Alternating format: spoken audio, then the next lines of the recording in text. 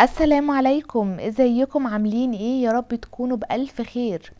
أهلا بيكم في قناتي قناة هند الشيخ. لو أول مرة تشوفوا القناة ياريت تعملوا اشتراك subscribe وما تنسوش ال like على الفيديو ونفعل زر الجرس ونختار الكل علشان يوصلنا كل جديد.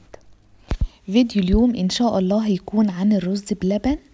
آه، بجد أحلى رز بلبن ممكن تاكلوه. جربوا طريقتي إن شاء الله تعجبكم جدا. هو طبعا سهل وبسيط وكلنا بنعرف نعمله بس جربوا الطريقة دي هتعجبكم أكتر وأكتر. حاجة حلوة مش مكلفة وطبعا مفيدة جدا وكل الناس بتحبها سواء كبار أو صغيرين.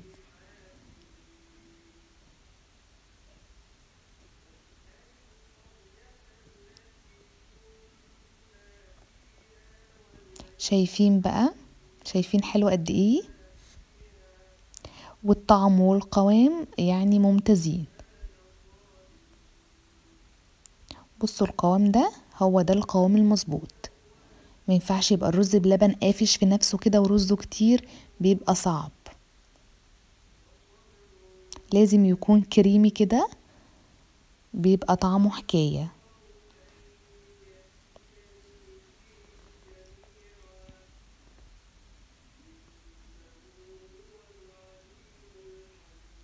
هقول لكم كل التكات والحركات. تابعوا الفيديو علشان تعرفوا الرز بلبن الحلو ده عملته إزاي. يلا نبدأ بالمكونات. هنا معايا كيلو من الحليب. وطبعا يفضل الحليب اللي هو من عند اللبان أو من حد موثوق منه مثلا بتجيبوا منه لبن. يكون اللي هو اللبن كامل الدسم. تمام؟ وهنا معايا نص كوباية من الرز بس يعني ما ينفعش أكتر من كده.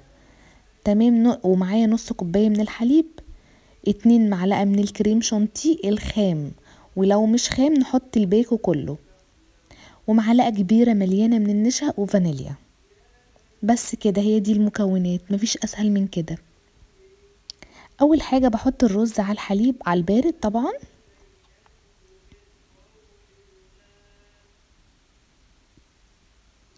وفي يعني في الطريقة دي هنسوي الرز جوه الحليب. تمام؟ مش هنسوي الرز لوحده وبعد كده نرجع نحطه على الحليب. الطريقة دي أفضل بكتير. بصوا بقى هنا رفعت الحليب ومع الرز طبعا على النار. هقلب فيه كويس ومن وقت للتاني بقلب علشان الرز ما يلزقش في الحلة من تحت. تمام؟ وهسيبه بقى على النار لغاية ما يغلي. ومن وقت للتاني ما ننساش إن إحنا نقلب. عشان يعني نوصل للنتيجة المظبوطة. هنا خلاص الرز قرب إن هو يغلي. وأول ما بيغلي بغطي الحلة وبسيبه ساعة كاملة. بعد الساعة بقى بصوا شكله عامل إزاي. كده خلاص أصلا الرز استوى.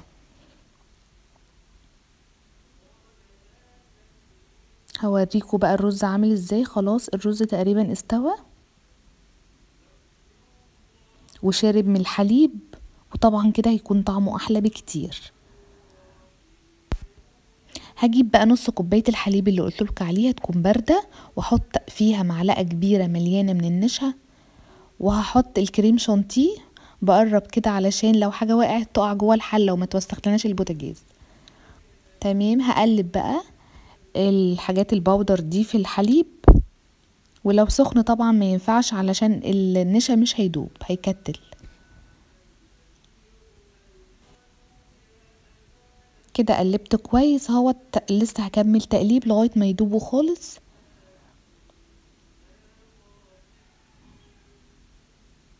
وخلاص اللبن على وشك إن هو يغلي مرة تانية.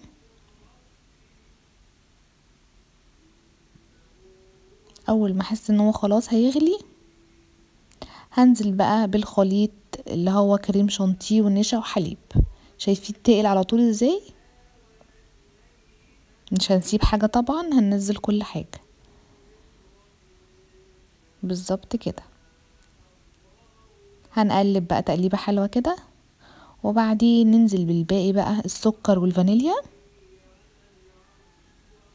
هنا نص كوباية من السكر. ورشة صغنونة من الفانيليا. هقلب لغاية ما يبدأ يغلي. خلاص. كده الرز بلبن جاهز عندنا. أظن ده أسهل حاجة حلوة ممكن نعملها لو إحنا حاسين إن إحنا يعني عايزين حاجة حلوة سريعة بسرعة كده ناكلها. هنحضر بقى الكاسات أو الكوبايات اللي هنغرف فيها.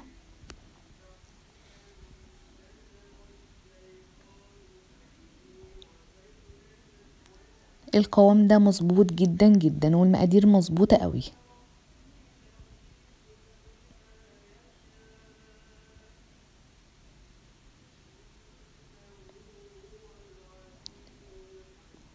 هنغرفه ونسيبه يبرد خالص وبعدين بندخله التلاجة. ويستحسن إن إحنا نغطي الرز بلبن قبل ما ندخله التلاجة علشان الوش بتاعه ما ينشفش. وهنزين تزيين بسيط خالص معروف طبعا جوز الهند والزبيب. على الرز بلبن مفيش أحلى من كده. ولو في مكسرات حطه. وممكن كمان نحط نوتيلا على الوش. أو بقى في تكة جديدة كده إن إحنا نحط زبدة لوتس. بس بصراحة أنا ما جربتش زبدة اللوتس مع الرز بلبن.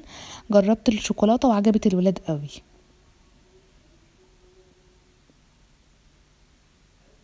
بس خلينا بقى في التزيين الأصلي اللي هو جوز الهند والزبيب.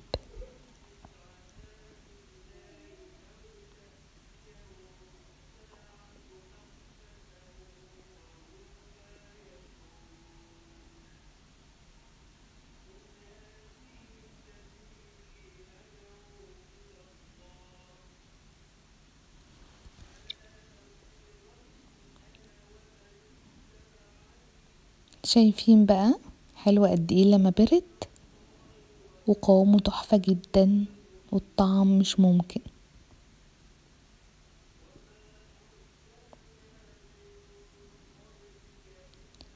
شايفين؟ حلو جدا. وزي ما قلت لكم لو هتدخلوه التلاجة يعني يستحسن تغطوا الوش بتاعه بحاجة مثلا بستريتش أو حاجة غطوا الكوبايات دي ودخلوها عادي التلاجة تقعد أيام كتيرة. يلا جربوا بقى الطريقة وقولولي رأيكم. ما تنسوش ال like على الفيديو. يلا مع السلامة. bye bye.